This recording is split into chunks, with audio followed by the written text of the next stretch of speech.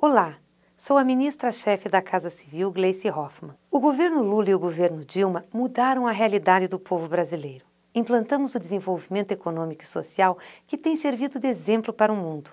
Mas é preciso fazer mais e direto nas cidades. A parceria com as prefeituras é fundamental. Por isso, meu candidato em Belém é o Alfredo.